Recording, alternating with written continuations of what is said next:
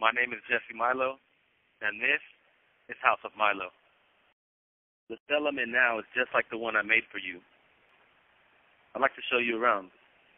Let's start with the lid, the top of the cell.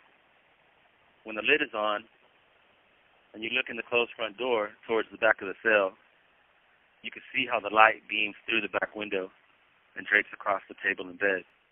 This actually happens.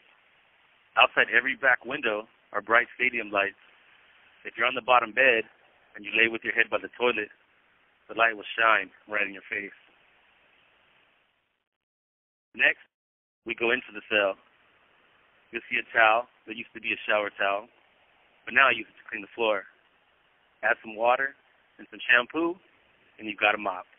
See the white shower shoes? We wear them to prevent falling in the shower and from getting fungus. On the floor by the toilet, it says, sit down to pee so it don't splash. Because when you pee standing up, droplets will bounce out of the toilet and land on the cell wall.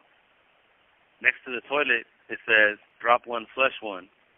This includes passing gas to alleviate the smell. The cell is very small, and there's not really much air.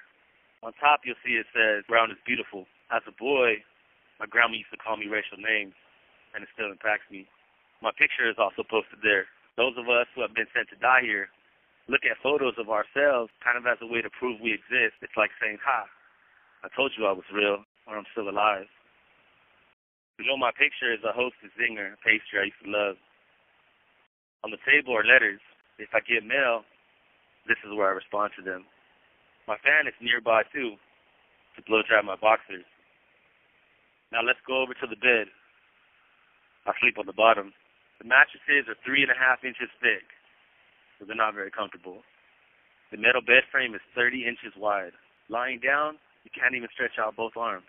Some guys on the top bunk tie themselves to it by their wrists so they don't fall off. Sleeping alone sucked in the first decade, but now I'm used to it. On the top bunk, I wrote vacancy because I haven't had a cellie during the pandemic.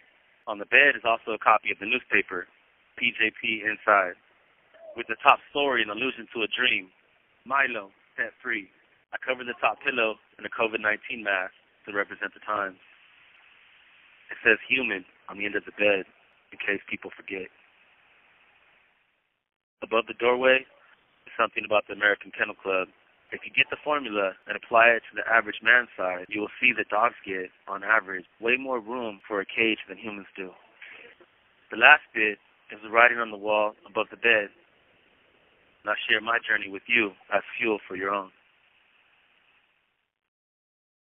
This call and your telephone number will be monitored and recorded.